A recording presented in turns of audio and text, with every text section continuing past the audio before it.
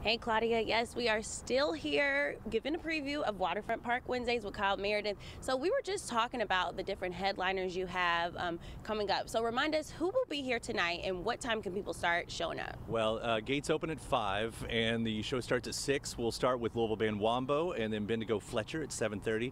And then War are here. War, the uh, Why Can't We Be Friends, Lowriders, Spill the Wine. They have so many hits from the 70s. They're going to be on the stage right here and they'll take the stage around 9 o'clock tonight. And then we've got a great season beyond this. Again, it's the uh, last Wednesday of every month. Uh, the details at WFPK.org.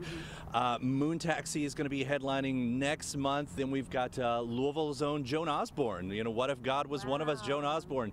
She's going to be here, and Yonder Mountain String Band's going to close out the season in September, too. So, again, the whole lineup is right there online at WFPK.org. And it's the weather is so perfect today.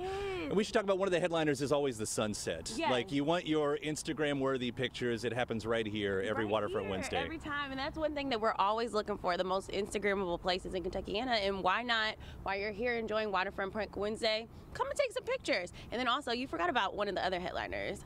The Mayflies. the mayflies that ha- are, are out here right now, but uh, but so are the birds. So I think the Yes. mayflies, uh, their days might be limited, their hours might be limited down I here this so morning. Too, because even while we've been out here, I've seen some of them kind of disappear. I think these uh, birds are getting them. yes. Mm-hmm. Yeah, so tell me, y'all been doing this for over 20 years. Tell me, what keeps you all um, motivated to entertain the community? it's seeing the community. That's what keeps us motivated.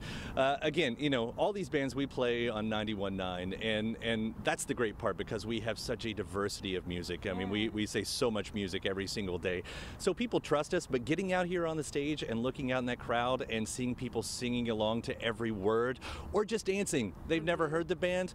Everybody's having a great time, and we love making that happen every single summer. 20 years. Smiling faces and dancing bodies. That's that- what you want. That's what it's all about. So, one last question. So, tell me, if people want to come, what is the best website to see the upcoming headliners and things like that? everything at WFPK.org. Awesome. Thank you so much. You heard it here first. You don't want to miss out on Waterfront Park Wednesdays starting this Wednesday at 5.